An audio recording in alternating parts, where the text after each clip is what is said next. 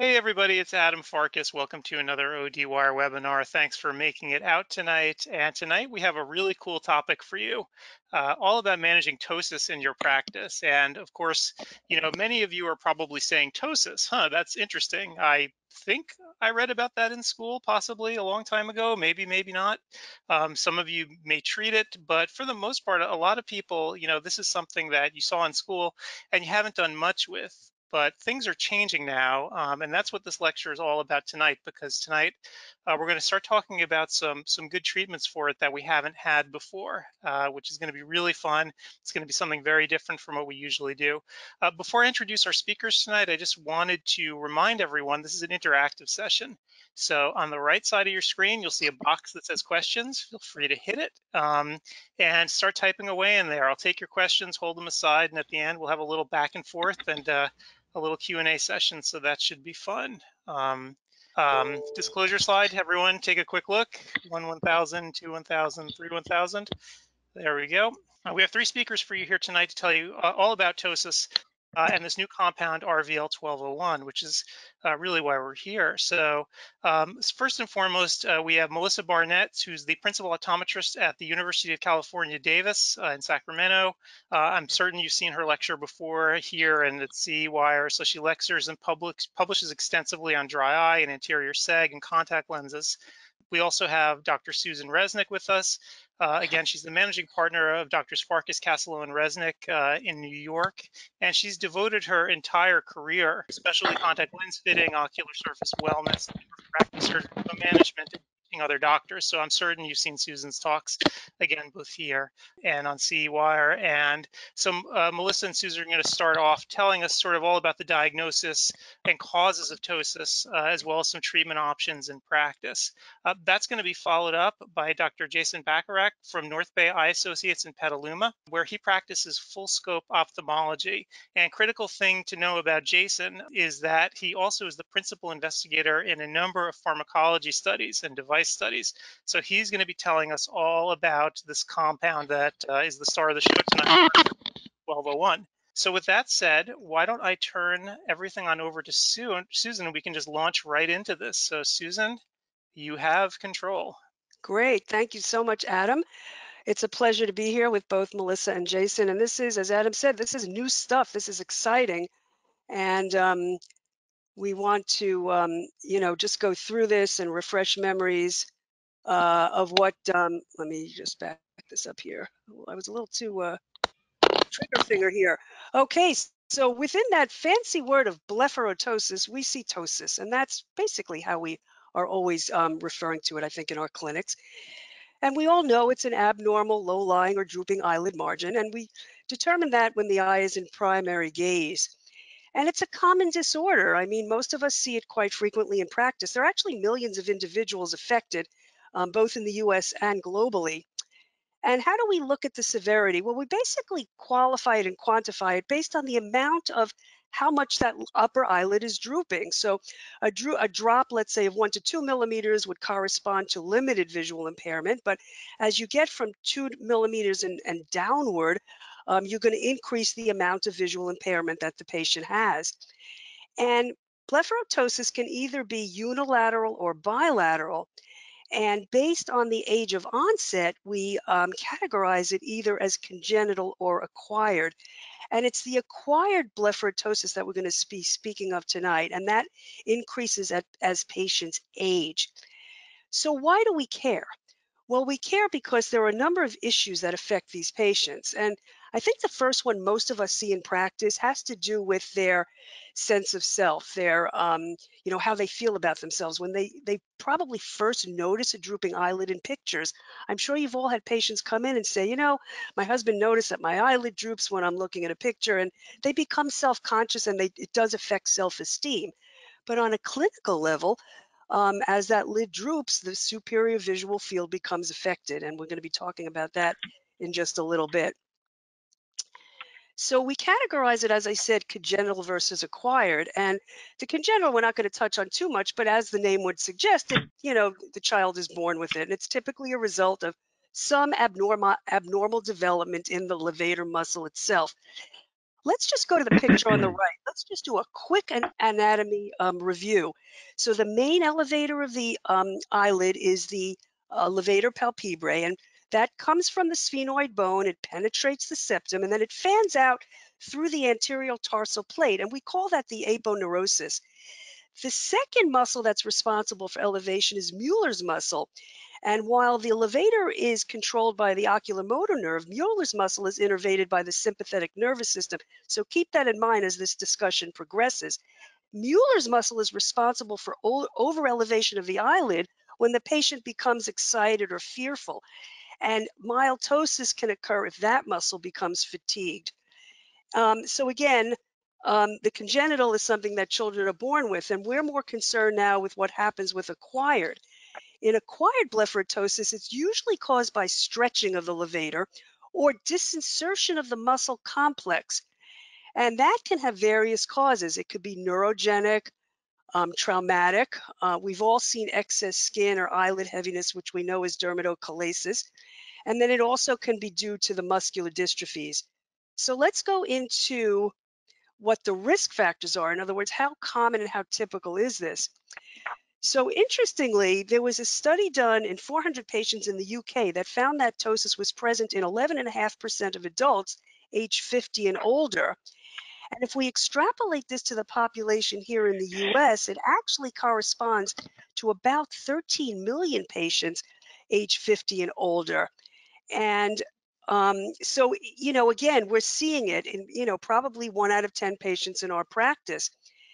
So other than aging, what are the risk factors? Well, ocular surgery is one of them. Uh, I learned early on that if I have a patient with ptosis uh, and they're they're going to go through undergo cataract surgery, that that um, cataract surgery can make it worse. And sometimes it's just the speculum that can cause dehiscence of the levator muscle. Um, but really, any kind of surgery where the eye is undergoing some traumatic event um, and as good as surgeons are, surgery is still trauma. In my practice, which is a contact lens based practice, we see tons of patients that were fit in GP lenses, you know, in the early 70s and 80s who are now in their 50s and 60s, 60s having bilateral ptosis. And we think that's due to the mechanism of removing the contact lenses when they're, you know, kind of tugging on their lids. But there can also be underlying disease, and that's what we want to concentrate on because when we make the diagnosis, we want to make sure that this acquired ptosis is um, isolated, meaning that there's nothing else going on and we can purely um, attribute it to uh, you know, the dehiscence of the muscle. So what do we have to be careful about in our differential diagnosis? Well, the most important thing is the neurological disease. So we're actually going to be doing a focused neurological examination. Um, but again, as much as these differentials are important, they're not all that hard to recognize that something else is going on other than the patient getting older. So let's just go through a, a, some of these just to refresh our memory. So Horner syndrome, as we'll remember, has to do with a problem with the sympathetic nervous system. We all know the triad of miosis, um, anhidrosis, and ptosis, and it's usually ipsilateral. And that can be secondary to trauma or stroke or vascular disease. And if you remember back, you can do pharmacological testing to figure out is it a first order neuron or a second. We're not going to go into that now, but just remember that there are pharmacological tests and imaging is often an important part of detecting the underlying cause because if there's something going on um, in the thoracic region, um, we need to know. So myasthenia gravis is obviously different. That's either unilateral, bilateral, and patients, it's often accompanied by fatigue. It will get worse in the latter part of the day. Patients will complain about double vision and strabismus. Um, the, gold, the gold standard for diagnosis there is blood work, and you need to confirm autoantibodies to the acetylcholine receptors. And again, for many of these, we're going to be referring out to neurologists or other um, you know, professionals that, you know, subspecialists, but it's important that we know that it's not just levator dehiscence. Uh, and then they'll do electrophysiological studies. Chronic progressive external ophthalmoplegia is something that I don't think we could ever miss um, or mistake for acquired because this happens to patients typically in their 30s. Um, it's actually a mitochondrial disease and there's often a maternal inheritance pattern. So imaging studies are done um, to investigate this and sometimes muscle biopsies. Finally, I think what's most relevant to us and maybe the one that's the hardest to um, maybe differentiate is third nerve palsy. Um, but again, there will be a ophthalmoplegia, some diplopia. Uh, the important thing here is to know whether it's the pupil is spared or not. Um, C CN3 palsy involving the pupil definitely necess necessitates imaging uh, to rule out a compressive etiology such as aneurysm. So you want to be careful anytime you see anything related to um, Horner's myasthenia gravis or ocular um, oculomotor nerve palsy. Okay, so then there are some great masqueraders. You know, there are conditions where we look and go, hmm, is it ptosis or is it not? Uh, let's talk about a few of them. Um, so dermatochalasis um, we all see very often, and you know, that's where the skin is sagging, but the lid margin itself is in the right position. And you can just take your fingers and gently lift up that loose skin and see for yourself that it's not a problem with the levator. Um, brow ptosis is kind of similar. It often goes hand in hand with um, dermatochalasis, and it occurs secondary to descent. It's really the periorbital soft tissues, and usually you'll see it affecting the temporal one third of the brow. It's actually more common in men. Superior sulcus deformity is very rare. It's an unfortunate consequence of surgery that causes um, anophthalmos, in other words, when the eye has to be removed. And again, microphthalmos is a congenital disorder. It's very rare. It develops during pregnancy, and it's usually associated with other birth defects. Hemifacial spasm, um, I think, is easy to differentiate as well because you're going to see a segmental or myoclonic, um, which is like an involuntary jerk of the muscles innervated by the facial nerve. It's not the oculomotor nerve. So it usually occurs in the fifth or sixth decade of life, and it's almost always unilateral. The spasm generally begins in the orbicularis oculi and then spreads over to the other facial muscles. Okay, so now that we kind of know what we're looking for, let's um, talk about what do we do once we know that we have an acquired um, ptosis. What are we what are we looking to measure? So the first thing we're looking at is the MRD1, which is the marginal reflex distance. And this is the distance between the center of the pupillary light reflex and the upper eyelid margin. And you're going to have the patient just look straight ahead you know, take your little ruler and uh, measure from the eyelid margin to the reflex, and normal is four to five millimeters.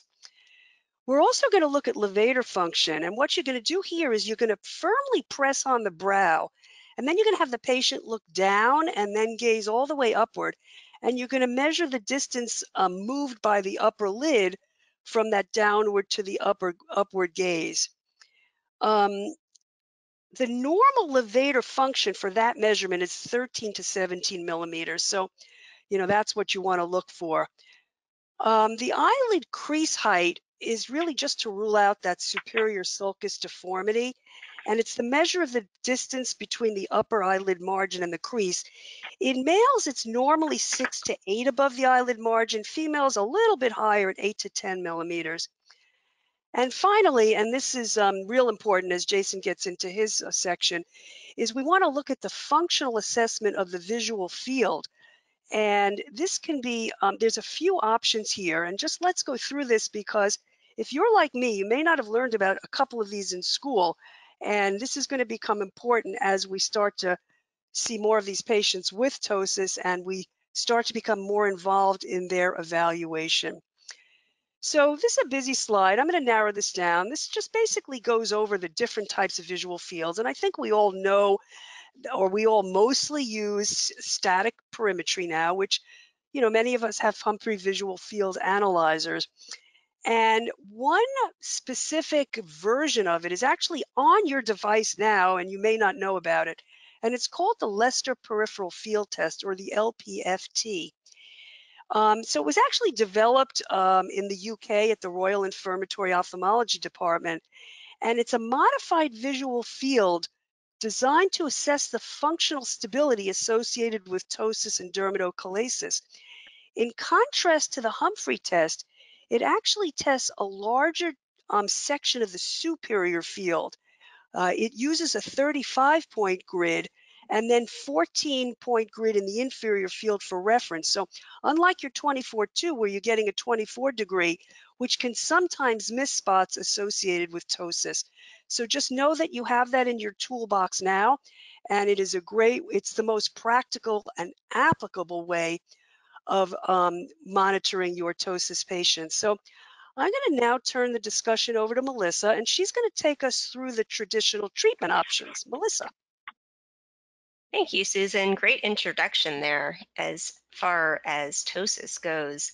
So this is quite a week where my father actually went in for a ptosis consultation because his eyelids have been bothering him. And we know that ptosis can really affect the psychosocial we know ptosis has significant psychosocial effects and can lead to poor performance in school, work, and also life. Here we go. Excellent. So there are different treatment options for ptosis. There's surgical, off-label medications, and non-surgical mechanical interventions. So surgery can be done either anteriorly or posteriorly, which can definitely help improve visual function and the quality of life. However, not all patients are good candidates, and there can be significant risks involved, like bleeding, scarring, infection. There can also be some asymmetry after surgery. As far as off-label medications such as apraclonidine or iopidine or phenylephrine, there may be significant side effects. So pupil dilation and photophobia, contact dermatitis, but also burning, stinging, blurry vision, even dizziness or drowsiness. And yes, it can help, um, again, temporarily. As far as non-surgical interventions, an eye crutch, as we all remember, the little piece that goes on a frame, a glasses frame, to hold the eyelid up, may cause some discomfort and is sometimes hard to fit. Eyelid tape, like Tegaderm, might be just not practical. And we know that scleral lenses do help as a non-surgical approach, but of course, they're all temporary solutions and temporary options. So the standard of care for ptosis is really surgery, and there are different types of surgical interventions. And as Susan mentioned, the choice really depends on the etiology. So looking to see, is it myogenic, is it neurogenic? We're also evaluating the severity of the ptosis and also levator function. The underlying diagnosis that Susan went over as well is also really important to choose which type of surgery is selected. So the surgical intervention addresses the pathology or insufficiency of the posterior lamella, which includes the conjunctiva, tarsus, Mueller's muscle, levator muscle, and aponeurosis, either via an anterior or posterior, which is the conjunctival side approach. So in the Mueller's muscle approach, the conjunctival resection, that's the posterior approach that comes in through the conjunctiva. The Fasanella Servat procedure is actually a more involved procedure, which includes resection of the conjunctiva, the Mueller's muscle, as well as part of the tarsus. A different surgical technique is the levator muscle and aponeurosis, where levator muscle is resected and shortened either again via an anterior or posterior approach, and also levator aponeurosis repair. So I really like this image here to the right where we can see and again, Susan went over this, but where we can see the Mueller's muscle, we can visualize the levator aponeurosis and the levator superioris. I'm all about visuals, definitely. So as I mentioned, surgery can really improve visual function and quality of life, but it can be quite costly. It can also be restricted in access. So patients might not have access to surgery. Surgery can include time, both the time of the surgery and the time after the surgery. And there could be a potential risk of complications. So, in addition to infection and inflammation, there could be asymmetry, so the two eyelids don't come out absolutely symmetric. There could be overcorrection, which I know Susan and I have seen and fit them with scleral lenses. There could be potential bleeding, infection in lagophthalmos leading to severe dry eye, which again, then we have to manage. So the, the surgeon is really excellent. I'm very fortunate uh, to work with a, a wonderful surgeon who does a great job. I'm going to hand it over to Jason now. Well, I will tell you that those are two tough presentations to follow. Uh, thank you, uh, both Melissa and Susan. Uh, really a, a, great overview of, of the process that we're, we're speaking about tonight. And Susan, you started with saying this is really exciting. I would agree. This is super exciting. Uh, this is really the first pharmacologic treatment, non-surgical treatment available for uh, for ptosis. And what I'm going to do for this group tonight is go over at a very high level uh, the clinical trial results. Uh, this uh, this uh, group of studies is being readied for publication in peer review literature in the very near future. And these trials were conducted in accordance uh, with GCP, good clinical practice. And I was an investigator in the phase three program. We're going to call this RVL uh, 1201. That was the uh, chemical entity that was um, studied in the trials, or oxymetazoline. This is a 0.1% uh, solution. It's preservative free uh, in a balanced salt solution, and it has the polymer hypromellose. This is applied once a day uh, in each eye, and that's how the trial was conducted. You can get oxymetazoline as an over the counter nasal spray. It's a 0.05% solution, and that's used to reduce nasal congestion. And you could also get it in the past as an over the counter eye drop in a 0.025% solution to reduce hyperemia, although I believe that product's off the market now. It's also available in a topical cream for uh, patients with rosacea that's a 1% topical cream. So there's been a significant amount of exposure, both uh, topically to the eye as well as on the skin, and uh, demonstrated as a, a, safe and well tolerated uh, treatment. I will only briefly, at a high level, go over the MOA because uh, I think we heard an excellent presentation on that just now. But let me uh, just take a bit of a deeper dive here. It's the alpha 1 and alpha 2 receptor subtypes at the adrenergic receptor that RVL has this direct acting affinity for. The levator is a beta 1 adrenergic receptor subtype, and that's important because that gives credence uh, to the fact that this compound is really working at the level of uh, the Mueller muscle and not uh, the levator. And that's the hypothesis of the mechanism of action. Another busy slide, and I'm going to break it down for you because although it's busy, this is it. This is the super important part of the presentation so that when you go to write the product, you understand what the heavy uh, work and heavy lifting uh, that went into its approval is all about. This is really a brief summary of a multitude of studies. What you're looking at all the way to your left in the first column is the phase 1 2A.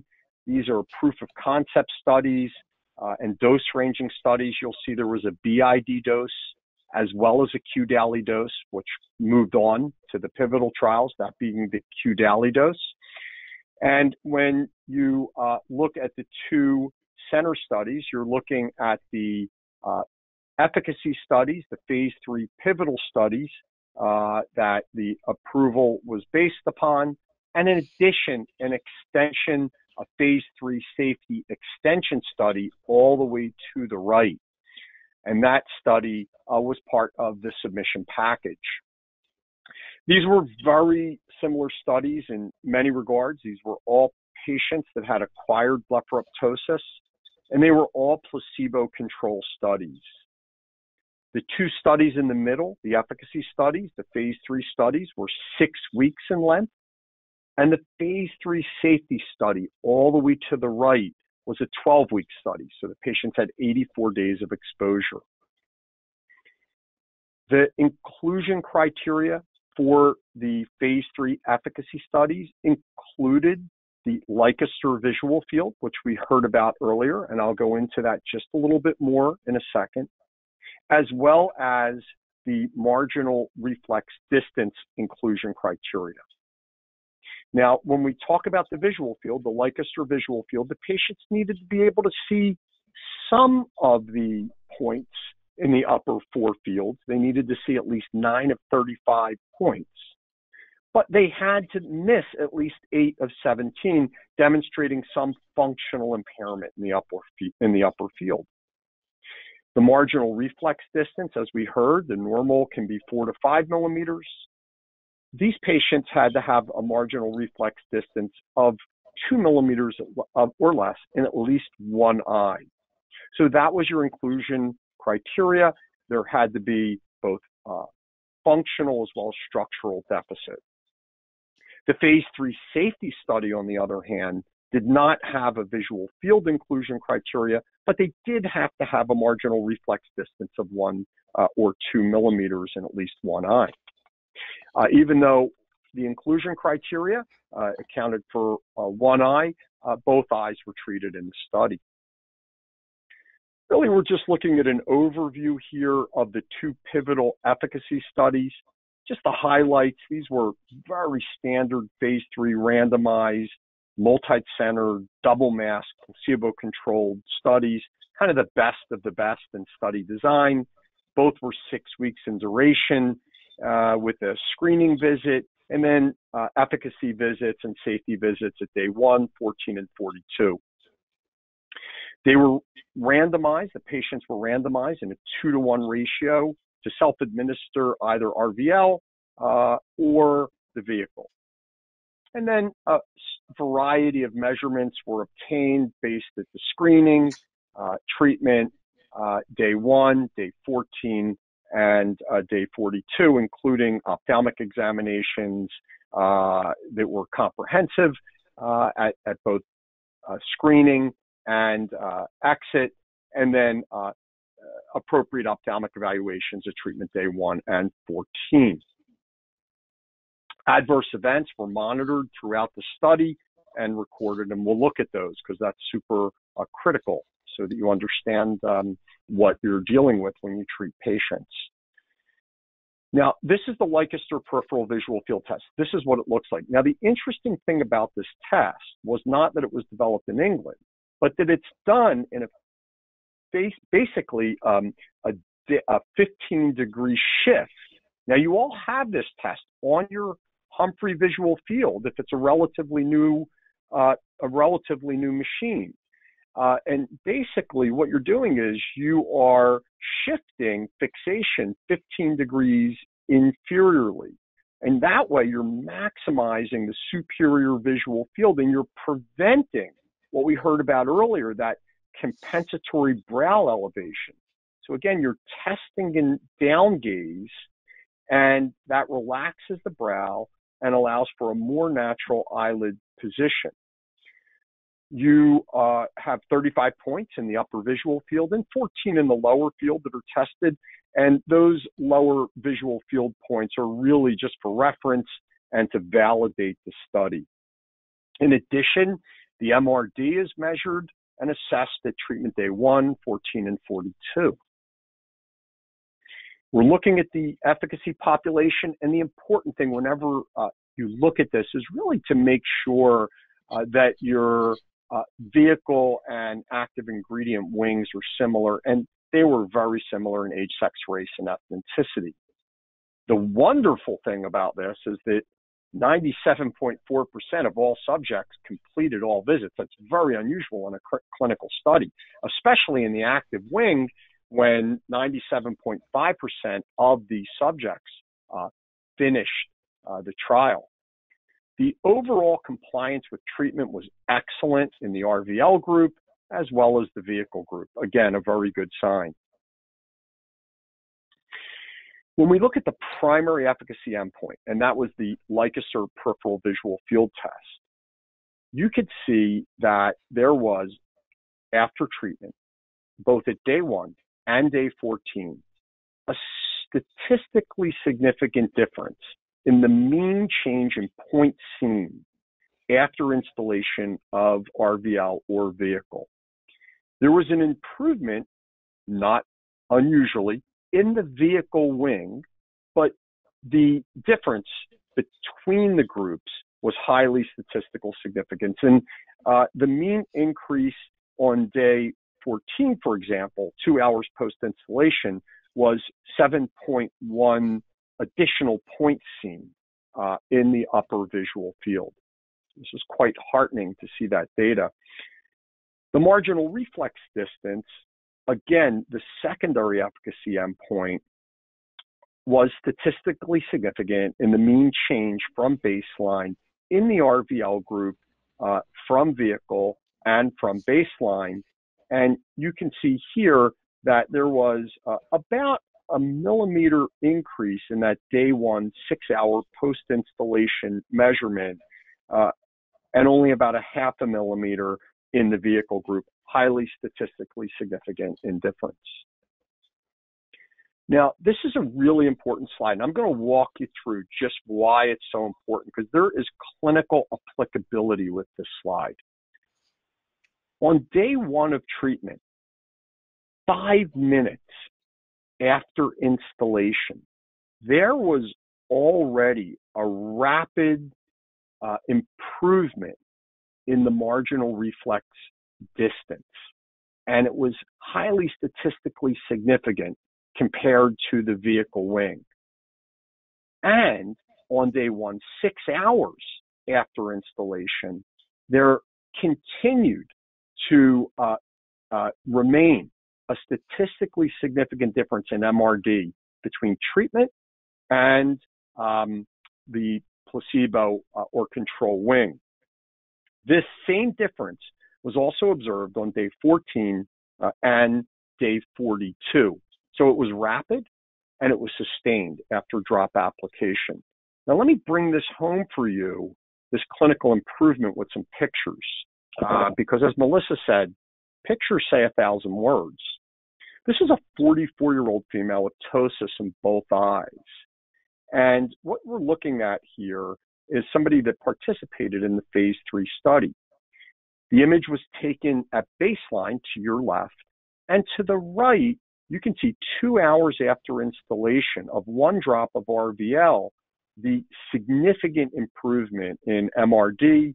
And by the way, uh, this patient did not um, have an uh, Leicester visual field at the two hour time point, but you can rest assured if it was done, there probably would have been a significant improvement as well. The tape on the forehead was used to measure uh, by the blinded medical monitor, uh, Chuck Slonim, so that he had an independent assessment uh, to measure MRD uh, as well as the investigator on site. The second patient here shows a subject that was also in the phase three study. This is a 56 year old Caucasian female with ptosis mainly in her left eye. And you can see the second image taken two hours after installation, showing a slight elevation in both eyelids and about a one millimeter improvement in, in, the MRD. And this patient also had an improvement in the Leicester peripheral visual field test. Here's a dramatic improvement. This is a 43 year old male uh, where the first image was taken before installation of RVL on day 14, pronounced drooping, particularly in that left upper eyelid. And the second image, two hours after installation of one drop of RVL, uh, with a with a, a, really a major league improvement in the MRD. It was also accompanied by an improvement on the Leicester peripheral visual field test. How about safety? Again, the combined safety population demonstrated very similar patient profiles between the active wing, the RVL wing, and the vehicle wing.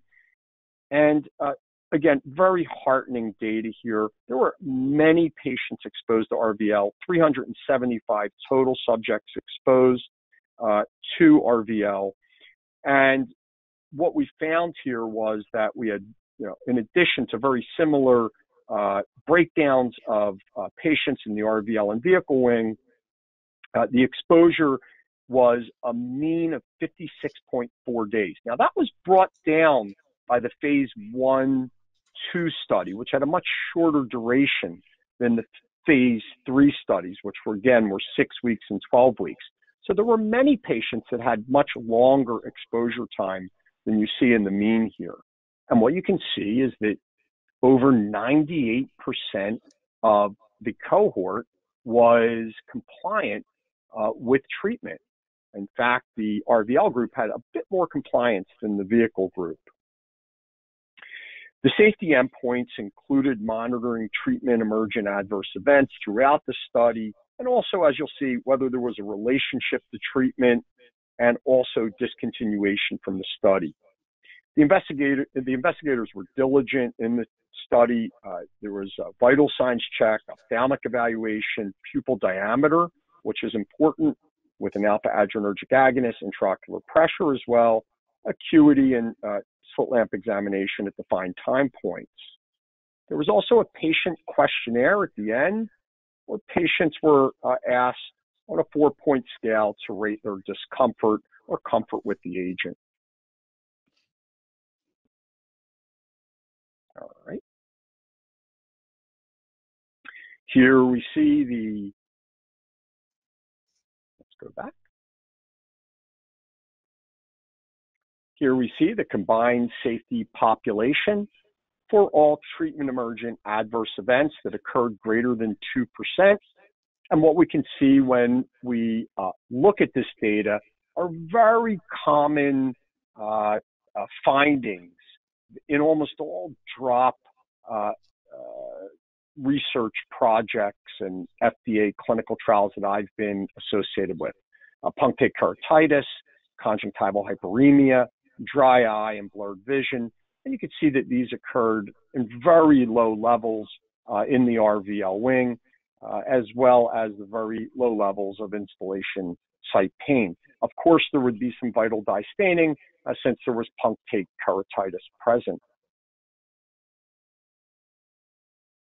If we look uh, at the patient reported assessment of discomfort on that four point scale, what we see here uh, is, uh, again, a, a, very a good data.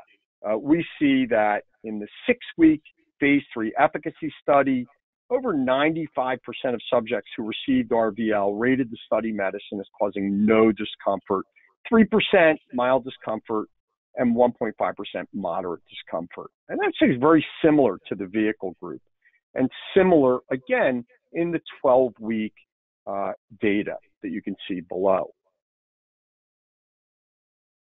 So, in summary, what we have here is we have a novel treatment uh, for ptosis, a pharmacologic treatment for ptosis that met both the primary and sec- secondary efficacy endpoints in the pivotal studies.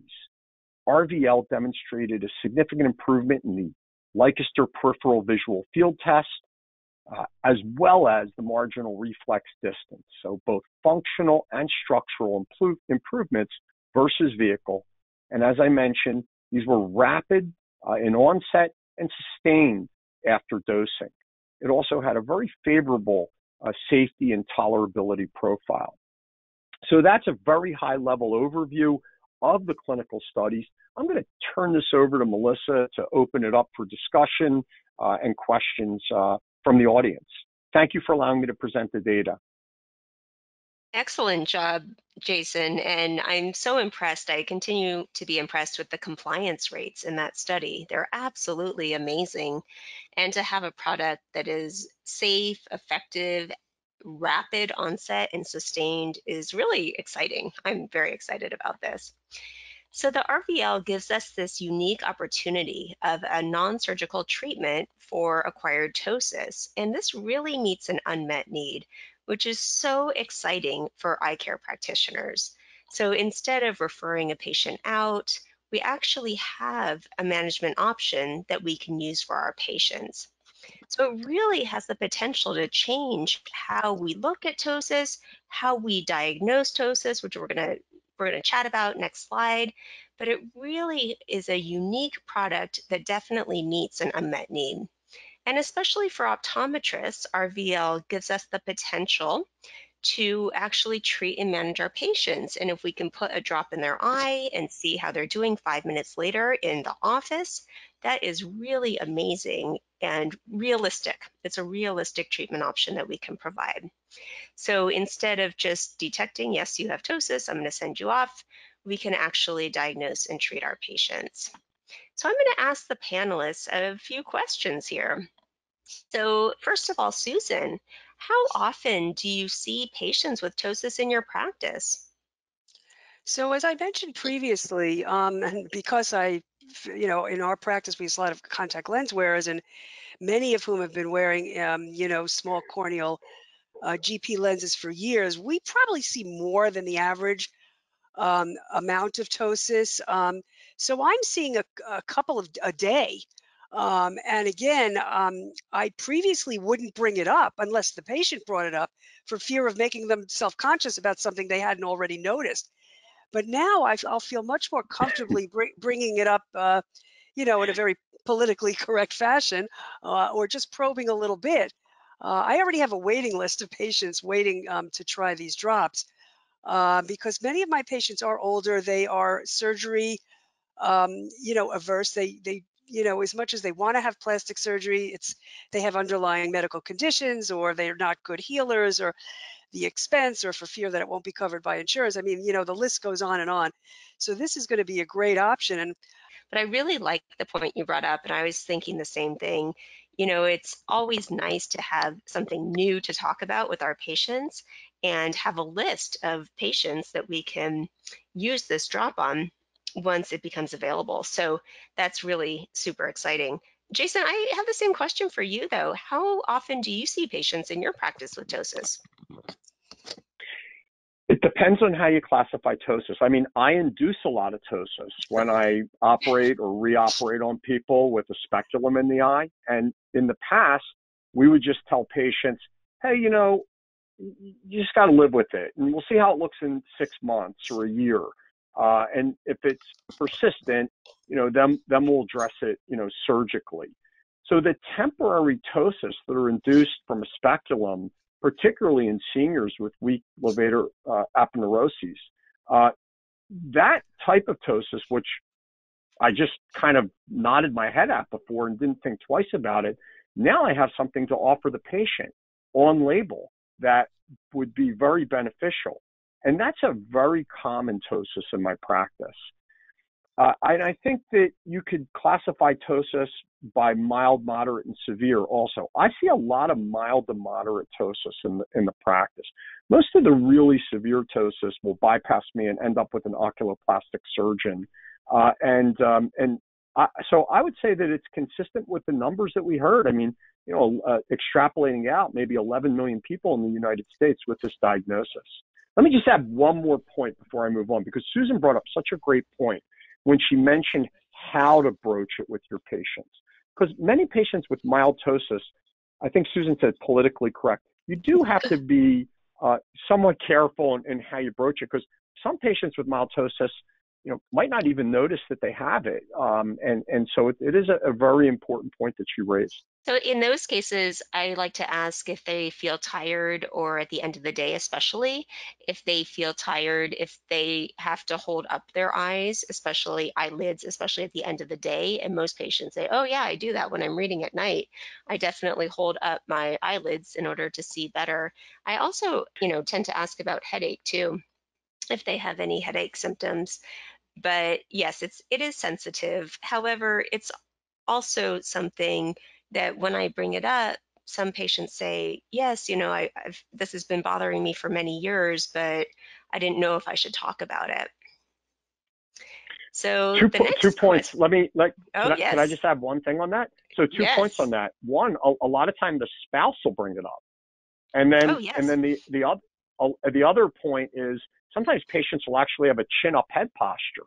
Uh, and and that's a that's a telltale sign that you could help them out. And sometimes that could be related to the headache because they're walking around with a chin up head posture because of the ptosis. Oh, definitely. I was going to bring that up because we see our patients all the time with their heads back and they're looking down. And so, say they're wearing progressive lenses, they're not seeing correctly through them, and then they get a headache. And it's very obvious, but sometimes to the patient, Jason, like to your point, it's not so obvious to them, but it's obvious to others who are looking at them. So, leading it off, Jason, how do you diagnose ptosis in your practice? Well, lately I've been using the Leicester peripheral vision test because it's such a sweet test and it really doesn't take that long to do. Now, I won't do that to quote necessarily make the initial diagnosis. I, I usually use structural testing, very similar to the things that Susan went over very succinctly and, and, and really did a great job of doing it. So I'll make sure they don't have a secondary cause. Obviously, we want to make sure somebody doesn't have a medical underlying condition. And if they don't, if this is an obvious ptosis, uh, the pupil's not involved, etc. I'll make sure the brow's not involved. I'll, I'll put that force on on the brow, make sure it's not a brow ptosis, and I'll look at the you know the marginal reflex distance, make sure this is not dermatochalasia. I believe one of you mentioned, make sure it's not the the lid uh, just overhanging, and and I actually don't think it's that hard of a diagnosis to make. A lot of times we just skipped over it because we didn't have treatments for it. And one of the things that I, um, when you've been seeing a patient for years and years, which I know all three of us have, it's sometimes easy to miss it because, you know, as that, as the patient has grown in your practice, so has the lid started to droop. And sometimes small changes are less noticeable to somebody who's more familiar. So, you know, there's a just noticeable difference psychometrically for us physicians. And so sometimes I will say, you know, and I'll ask them to pull out their, um, you know, their license picture, um, much like we would do if we were to see anisocoria or something like that, or just well now we don't have to do that. We just look at pictures on their cell phone. Everybody's got thousands of them. So ask for a picture from three years ago or two years ago, and then you can just say, oh, you know, I thought your lids were coming down a little bit. You know, we have something for that. So again, we can do it delicately and conversationally, and you know, um, with, without creating too much hysteria. Uh, so, you know, a nice way to do it is just to compare photos as well. I, always, I always have my patients pull out their cell phones, right? Um, even though we have signs everywhere saying "Don't pull it out." Don't pull out. They're also right. helpful for contact lenses and old pictures. Exactly. Eh, so, Susan, I know you went over this it, eh, somewhat, but how do you discuss ptosis with your patient? Say you have a new patient that you don't really have a long-standing relationship with. How do you discuss ptosis? Well, first I go through a very thorough exam because I want to be sure there is no other, you know, underlying cause. And then I'll say to them that, you know, there's a normal um, distance between the lids that we look for, and yours is a little bit smaller, which means your lids may be coming down a little bit more over your pupil than average. Um, has this always been the case? Have you ever noticed it? Um, can we look at a picture? Uh, and then I just try to decide, well, is it new? Um, has it been there before? Um, and then, you know, assess whether the patients even notice it. And if they say, oh, yeah, my friend, you know, then I, then it, you know, the, it, it all comes forward, the, uh, the psychology session, and we start talking more in depth. And that's, uh, you know, up until now, I'd be like, okay, well, you know, if you ever want surgery, we can do it, or I can perhaps uh, give you one of these drops off label. And I would talk about the couple that you mentioned, uh, at which point most of them, you know, will decline. If it's not really bothering them, um, they'll decline. But part of that was because I would not present off-label drops as something. I wasn't all that, um, how shall I put it, enthusiastic about those. Um, so, but this, knowing that it was tested and that it's so efficacious and it works so fast and it lasts and it's safe, I'm going to be. They're going to hear a whole change in my in my demeanor and and my um, conversation. It's going to be you know, obviously much like it is tonight. I'm excited. It's going to be peppy. I'm going to be like, you know, and I and I'm very um, informal with my patients. I don't talk doctor speak. I talk to them like they were my parents or sisters or brothers, and I'll say something like, "Have I got something for you?" Uh, because I'm from New York. So, um, so and they and they really appreciate that sincerity and the level at which I present it to them. They know that I've done a thorough exam, but at the same time, they know I'm offering them something very safe and very effective.